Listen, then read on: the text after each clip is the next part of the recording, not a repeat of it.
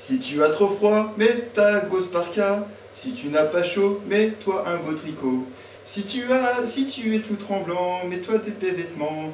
Le vent glacial souffle, il faut mettre tes moufles. Si t'as froid aux pieds, mets tes bottes rembourrées. T'en as marre de l'hiver, mais plutôt ton polaire. En bonne conclusion, pour ceux qui haïssent cette saison, avant, arrêtez de pleurer, mieux vous vous habiller.